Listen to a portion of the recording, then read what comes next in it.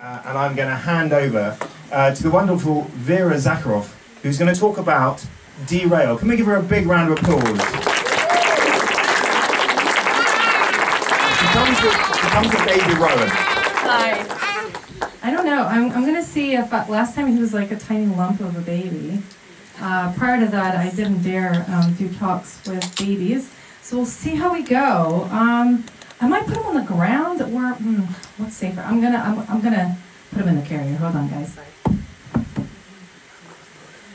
These are like it's like it's like a delightful uh, uh, it's a delightful mystery bag. No, it's a, a lot less fun than uh, like picking a random candy out of a bag. Um, so tonight he is very wily and excited. So, whoa! Sorry guys, hold on. I didn't know if he was gonna sleep or no, no, it's okay, baby. It's okay, baby. I agreed to this before uh, while I was still pregnant uh, when Tim contacted me, and I was like, sure. like, uh, my first baby, uh, my well, who's now toddler, uh, slept for England, so I was like, oh, maybe it'll uh, happen the second time around as well, but this one's a lot wilder. yeah, yeah. Okay, cool. I think we're almost there. Sorry, guys. Hello. Oh, don't encourage him. Do not encourage him. He'll think this whole talk is about him, and he'll, uh, yeah, he'll, um, he'll steal the spotlight. That'll be nice. Hi, hello. Uh, um. I could probably do this talk without the microphone, but I won't. Um, be normal. Um, so hi. Let's test this. Yay. Okay, cool. Um, hi, my name is Vera. I'm just going to jump right in uh, on Britain's dismantled railways and how to keep the love alive. Um, so, a little bit about me. I'm Vera. Um, I'm a food campaigner by day, um, and I'm, I don't know, nature freak by every moment of my life. Um, I um, I love connecting with nature. I love exploring. I'm a huge fan of cycling and walking. I love old things like trees, and I like new things too, like uh, my like my spawn. Um, but here I'm going to speak about uh, one old thing that I just love, and that's the dismantled railway. Now, just to let you guys know, I will be saying dismantled rather than disused. I really have a bugbear with disused because they are not disuse, even if they've been largely forgotten by human beings. So, um, what's the deal with dismantled railways? Why care? Oh, by the way, there are, you can see which ones I'm talking about. There's always like a little title of uh, which dismantled railway I'm talking about. Um, so, uh, dismantled railways, they, um, they stir the imagination, they, they, um, they invite adventure, um, and they're this beautiful meld of uh, human creation and uh, the beauty of nature. Um, and I love the, the freewheeling um, cycle pathways um, and the way that they allow you to just stretch your stamina for miles. Um, and indeed, that's the way I discovered dismantled railways. Um, I love the decomposing Victorian grandeur um, of dismantled railways and the, the kind of the man-made holloways that just invite wonder and stir the imagination. And uh, I love that kind of, um, that just like rough and beautiful gutter punk uh, aesthetic uh, for anyone else here who's uh, been a fan of, you know, sneaking into abandoned buildings and stuff. It's just really beautiful. Um, but I think, well, like above all, um, something that really fascinates me is is the way dismantled railways. They sort of um, they show us really like nature's dominion over humanity um, because you really you get to watch something decompose kind of in real time. Because as you'll find out, um, our Britain's dismantled railways are a fairly kind of modern thing. So we're watching them as they go through this transformation in real time. That you know this isn't sort of this kind of a young archaeology, if you will. Um, so I wanted to start with I wanted to start with the dream that I once had. So come with me on this little adventure. About 10 years ago, so when, when my partner and I moved um, to the UK from the US, um, you know, we pretty soon kind of like explored Sussex. And I did know that there had there used to be a railway line uh, between Lewes and Uckfield because I, I'd seen this on OS Maps and I was like, what's, what's this dismantled railway? Um, anyway, so we, and, you know, we go on walking there, but one that I had a dream that um, I was doing, I was collecting like oral histories of this mystery railway that uh, went from Lewes to Barcombe to, no, not Barcombe, sorry, Isfield um, and Uckfield. And, and in the dream, I, um, I like, I hitchhiked, because uh, there weren't any bus lines running to these, so I'd go to the villages and I collect, hey baby, um, hold on. Hi. Are you, can I just like turn you around maybe, huh? Babes. Um, yeah, and so I, I, in this dream, I, um, yeah, I kind of took photos and it was just like a really beautiful dream. And then um, when I woke up and I actually Googled it, like, um, trains, I mean, closed in like the 60s and 70s. So it was really like, it was just like these 70s trains. It was like not romantic at all. But in any case, I was like, you know what? Mmm, dismantle railways. And so that, uh, thus was born my hobby and uh, passion when I tell people that not everything I do is food related. Um, so here is a little video of me uh, doing a bit of hand spray.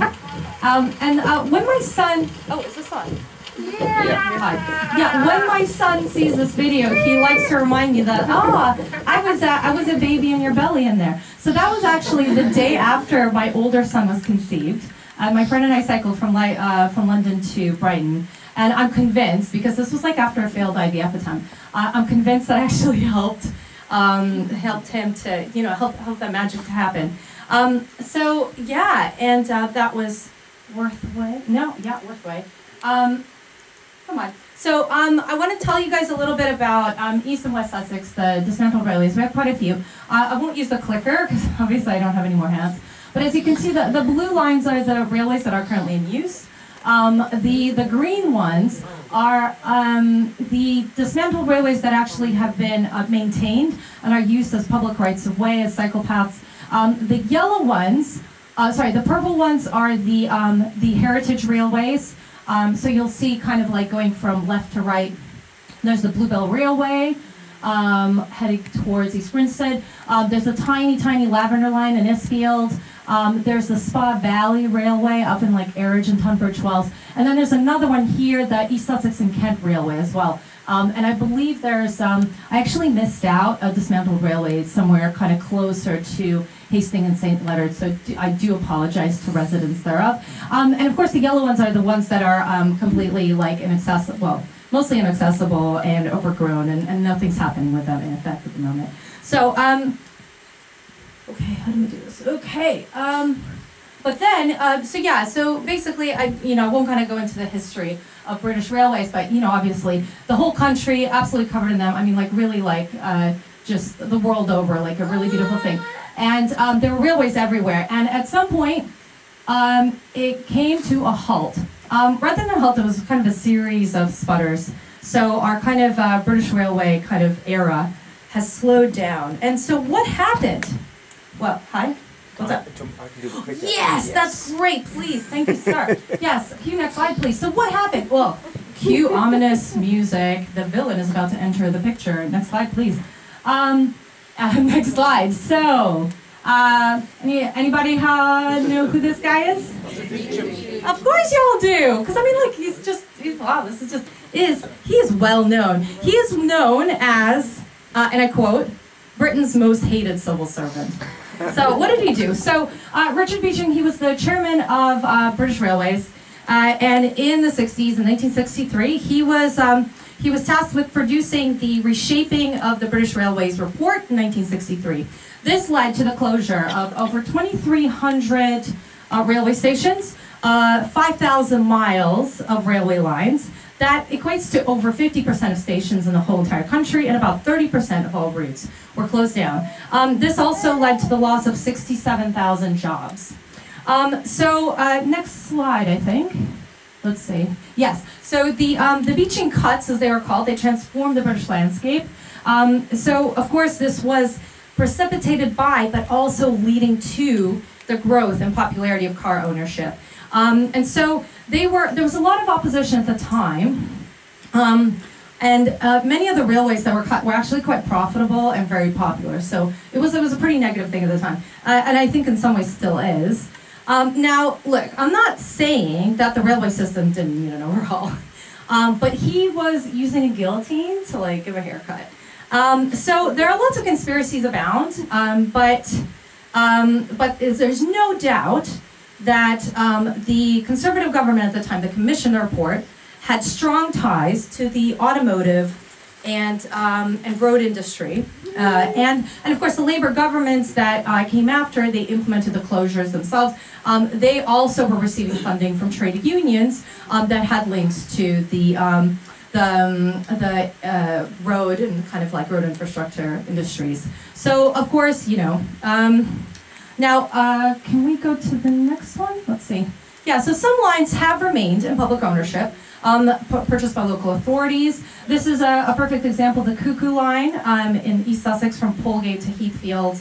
Um, it's, uh, it's been turned into a delightful mixed-use trail in partnership with the council and Sustrans. Um, so here you'll find the remains of, um, well, uh, the rema railway remains that have been turned into curious art. Next slide, please. Um, delightful little stations, uh, the relics of stations. Uh, next slide. Um, and really like adorable uh, displays created by local residents. Uh, when I was here with a friend, um, on like a rare baby-free day, we went cycling. Um, there was a child who was absolutely in tears because his grandparents were dragging him away from a Thomas the Tank Engine uh, display. And I was like, oh, this my future? Indeed it is, because, I mean, my toddler, literally one of his first words was stees, which was steam. He's completely obsessed with trains. Uh, he loves Thomas. He knows all of their names. And I love it. I'm very happy. I, I do encourage it. So um, now on to, um, so, oh yes, and the thing I want to say, so with the Cuckoo Trail, so it, it ends at Heathfield. It, Heathfield. It used to go all the way to um. So sadly, the trail um, could not be completed all the way to Eridge because due to 12, just 12, crotchety landowners who refused to have a public right-of-way over their land. Y'all, all right? I mean, like, we're not even talking about their opening up their land entirely, just having a little public right-of-way. They were like, nope, nope, nope. So my dream of freewheeling from Three Bridges all the way down to Polegate via Eridge remains unrealized. I think it would be a really great trail, so I wouldn't have to go down motorways up and down with my friend secretly carrying my future firstborn. Anyway, okay, next uh, slide, please. So, um, oh no, this is just a little video. Oh yeah, so my dream, this is my dream of taking this road from Three Bridges uh, down from London all the way down to East Sussex. So, uh, but next slide is uh, uh, archaeology. Oh yeah, it's uh, so archae railway archaeology, a primer. So this is what really like this is what you came here to see. No, it isn't. But this is what's going to get really exciting. So um, look, I'm not advocating trespass, but here are some telltale signs of forgotten railways if you want to go off the beaten path. So um, next slide, please. So we have things like embankments on the right-hand side. You see where the bluebells are. So it's kind of like a raised piece of earth that the uh, the railway goes on. Um, and their um, their kind of inverse are called a railway cutting. So that's kind of like when it's cut into the ground, uh, into the land. Uh, of course. Um, uh, you might find um, ballasts. That's the railroad gravel, which uh, how many people have ever before now known the, what the word ballast means? Anyway, a few people, but it's one of those really great words, uh, one worth keeping. Um, straight wooded paths. When you see a wooded path that's like so straight, you're like, what is this, like Roman road? Anyway, it's probably an old railway line. Um, complex brick brickwork, such as those Victorian bridges, uh, always a good example. Like in the middle of nowhere, like you're like in the woods, you're like, there's a bridge here. Uh, to nowhere. And uh, railway sleepers um, and rails sometimes, uh, boarded up tunnels, and uh, oh, this one's really interesting roads and pubs with the name stationed in them. Ooh, must have been a railway here before. Um, so next, uh, next. Thanks, Lee. Oh yeah, and there's the timer. Great. Okay, next slide, please. So there is. So this is like OS Maps. I just wanted to show you this. Again, I'm not going to point, but you can see the dismantled railway line here, right there. Um, and that tells you, uh, yeah, this is um, this is the Bluebell. This is the Bluebell. They used to go all the way down to Lewes in Sussex. Um, so, um, and then next slide. This is what it looks like, um, satellite. I think this is where I become a total nerd. Uh, don't talk to me about these things in the pub. Uh, my colleagues think I'm hilarious. But like one of my one of my hobbies is like it's like going on like Google Earth and like finding dismantled railways and then going along them. Um, so this is the same one we just saw. So you can see this in maps. It's very it's kind of straight and very wooded. And that's really important, the wooded bit. We'll get to that in a little bit. Uh, next, uh, next slide, please. Uh, oh yeah, next one. So, um, so I wanted to mention, I, I might skip this in the interest of time, actually. Uh, but this is just to say I'm in Brighton and Hove. Um, this is Kemp Town, and um, like my son, like again, he's obsessed with you know trains.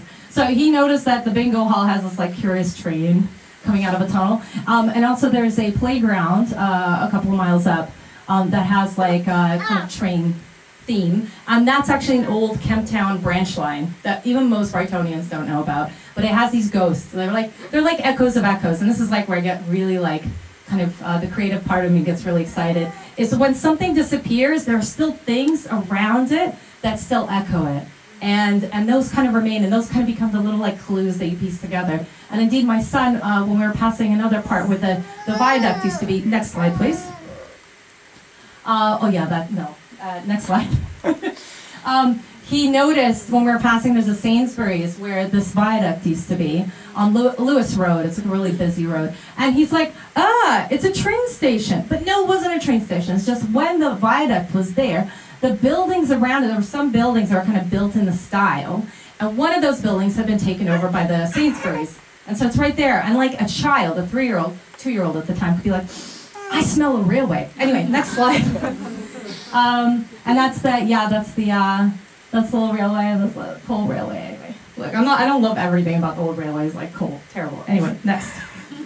So, um, and this is, yeah, what remains. Uh, next slide, please. So um, what I wanted to end on, uh, in the interest of time, is um, is this beautiful image. It's beautiful to me for sure. Um, and this is that again that old Bluebell railway line uh, between Lewes and Sheffield Park. Um, that's the bit that's dis- dismantled, disused at the moment. Um, so this place is heaving with wildlife, and it's a haven for species in decline, such as glowworms, bats, and nation's favorite bird. Who do you think would be the nation's favorite bird? Not a seagull, obviously. it's the nightingale. I mean, everyone's obsessed with nightingales. I mean, they have been massively endangered, in decline, but they're coming back in certain places. One of the places they're coming back is this railway line, because again, if you remember those maps, it's like a line, a wooded kind of hedgerow line, unobstructed and you know continuous. And the insects love it, the bats love it, and birds like nightingales love it. Um, and here's just a little bit that um, you may or may not know. Um, species decline is not just precipitated by the cutting down of woodland, it's also uh, affected by the, um, the fracturing. So when you have one woodland and it's unconnected to another, a species like nightingales that might use that area to breed, they may not be able to travel to others. So what happens is inbreeding, and actually that makes a species weaker as well. So, um, uh, you know, the government knows this. Um, Natural England, um, they have this in like their policy papers that we need green corridors. That it's not just about building, you know, um, planting trees. It's also about creating these like natural byways. And the railway lines are perfect for it. Um, so next slide, please. Oh yeah, this is what it looks like. I got better picture than this. Uh, visit my Instagram. But uh, let's move on. Um, so um, this is actually um, a Save uh, Save Barcombe Bridge uh, campaign uh, based in the village of Barcombe. And um, they were actually successful in stopping national highways from infilling this bridge. Um, one of the arguments was that actually there are bats that use that pathway, but also national highways. I mean, you know what they were doing? They wanted to infill all of the old dismantled railway line bridges because they didn't want to like maintain them. But actually, there were suspicions that they just wanted to spend uh, and underspend because otherwise, you know, how it's so stupid. Like if they don't spend a certain amount, they get less the next year. And so they were trying to like cement over all these. Things. Anyway, they've been halted. So there's been a number of campaigns. And at the end, I'll tell you guys a couple of petitions that are alive at the moment that I would love for you guys to sign. But this is fantastic because it brought the village together and they really focused on the ecology element of it as well as the historical uh, element of it. Um, and really, this, this path should be turned into a public right of way. It's really beautiful. Um, so this is kind of where I wanted to end. Um, you know, the railway lines, they're not they're they're more than just like Roman roads of our time. Um, they're they're kind of like the engineered manifestations of our desire lines. Um, you know the way the railway really like goes along the path of least resistance, and it's a duet between how the land offers itself to pilgrims and how its creatures, big and small, show their connection in motion. Um, so you know it moves lots of things. It can move goods and villagers and day trippers, but it can also move wildlife. And so you know this is why just because we're not traveling down these routes for various reasons doesn't mean that they shouldn't stay as a kind of commons. And so this is kind of like my appeal that, you know, railway lines dismantled or otherwise, um, we need them as a kind of public and ecological commons. Um, so I'll leave there. Um, and I just want to say, you know, this is, um, this is kind of becoming more popular, but um, this, the biggest problem is the, the kind of highly privatized paradigm that we're living in. So maybe I am kind of, you know, advocating a bit of trespass because I think that's that's might be what it takes is for people to love these uh, dismantled uh, railway lines again. Thank you so much. Oh, and before I finish, if you have your phones, there's two petitions. Um, one by the this this small kind of village campaign. Called "Protect the Ecology of Britain's Dismantled Railways." And the bigger one that's getting thousands of signatures uh, by historic railway engineers organization is Protect the Railway Heritage from National Highways, Wrecking Ball. If you look up Protect Our na- rail- Dismantled Railways, you'll find it on change.org. Thank you so much. Vera Zakharov.